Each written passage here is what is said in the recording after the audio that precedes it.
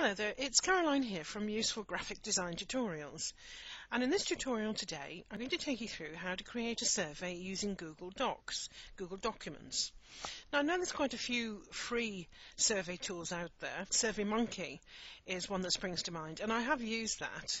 But to be honest, I find Google Docs really, really easy to use.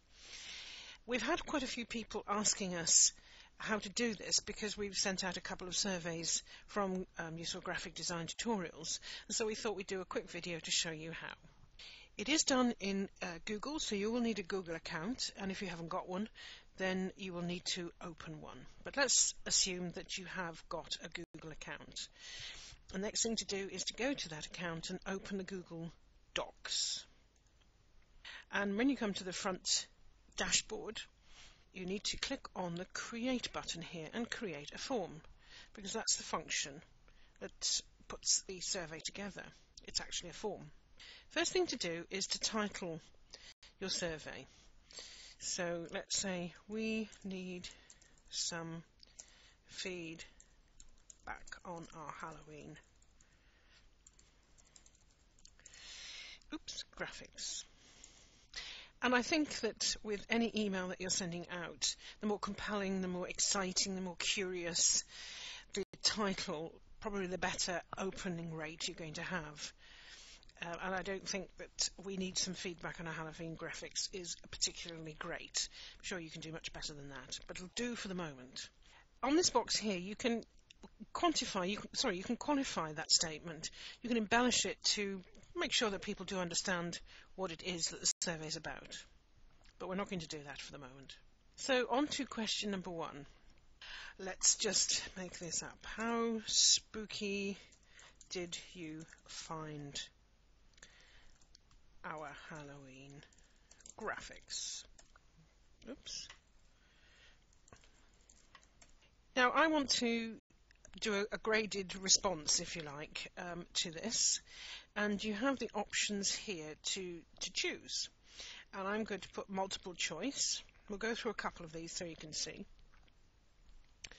And I'm going to say too spooky hats to hide behind the sofa. That's my first option. And my second option, pretty spooky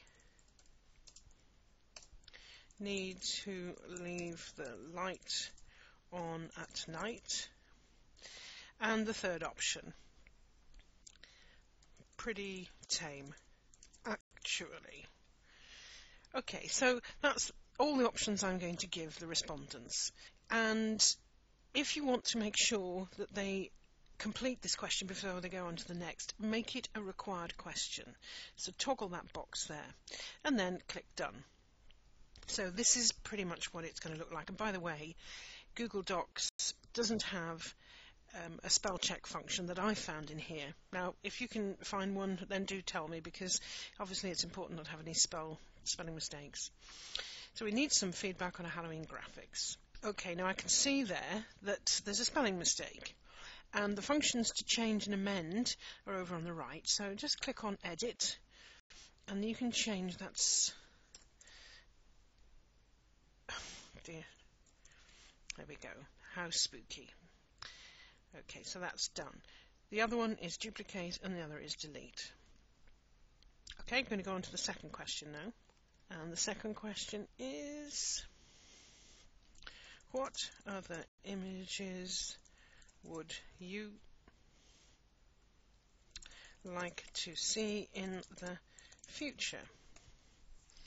And this time I'm going to give people an option to expand their views on this.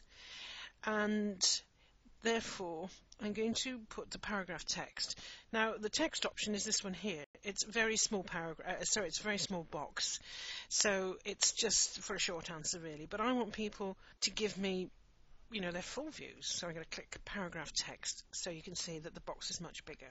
Again, I want to make this as a requirement. Okay, now I'm not going to go through all the questions, but that's simply what you do to add the questions to the survey. Now once you've done that, oh by the way, you can add the functions up here, choose a text from a list scale, That's quite an interesting one from a scale of 1 to 5. And in the help text there, you could put the parameters, 1 being not scary at all, and 5 being I'm absolutely petrified. So you can help people make sure they understand which way the scale is going. Okay, we don't want that. So after we set up the questions, you've got the opportunity then to put a theme to the survey. And the, the theme function is at the top here. So let's click on that. And you see, look, there's, there's 97 different themes here. I think it's um, fabulous. I don't know, let's have a look at this. This the spice one. See, isn't that great? We need some feedback on Halloween graphics, how speak it, and so on. I'm quite sure if that's the right one for this. Let's go back. Uh, I mean, you, you, can play around with these. They're great, obviously. I don't think any. Oh, that's a good one. Look at this. We need some feedback on Halloween graphics, the piano. Okay, let's just say that that's what it is you've decided upon. So let's click Save to save the theme. Oh, oh, sorry. That's Apply on the left-hand side. The Saved is to save the form. You've then got a number of options, and you can email the form. You put the recipients of the email in there, and you can choose the contacts from your Gmail. It's all very clever and simple include the form in the email, um, and then send. We're not going to do that. We can have a summary. We'll come back to that in a moment, actually. It, we can embed the information on a website. This is the URL, sorry, this is the code that I put onto the Aweber form to send out. We can do that, but we're not going to do that now. Let's cancel that.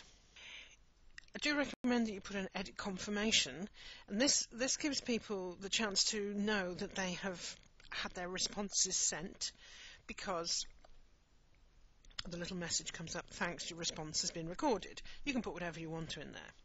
And then I would suggest also you publish the response summary so people can see that. cancel that for the moment. Um, and then save. Okay. So let's just say that that form has now been completed. We haven't sent it yet because perhaps we're going to leave it for a day and then come back to it. And how you come back to it and maybe amend it and then send it is to come back into the Google Docs and go to the, the dashboard.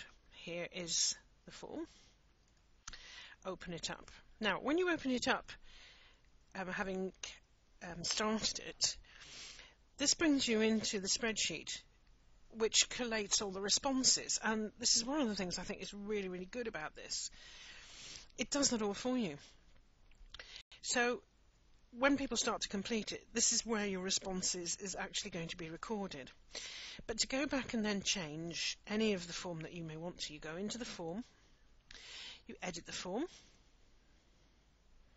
Okay, so then you can start to actually put more questions in if you want. You can send the form you can go to the live form. There, there we go. There's the live form there now. Uh, we cancel that. Uh, we can show the summary of responses. Well, we haven't actually got any. But this is where you would see a little graph. And this is where you would see, sorry, the spreadsheet, which we're already on. And this is where you delete the form. And that's pretty much it. That's all there is to it, really. I think it's a fabulous little tool. Uh, certainly, we, we plan to use it more and more. And if you've got any questions about what I've just shown you, then you know please do get in contact with us. You can reach us on our Facebook page, the details of which are now going to be put on the screen. But that's all for this video. We look forward to seeing you in the next one. And, and until then, goodbye. Oh, by the way, if there are any um, videos that you would like us to do, please do get in touch with us. You can put it on the information on our Facebook wall.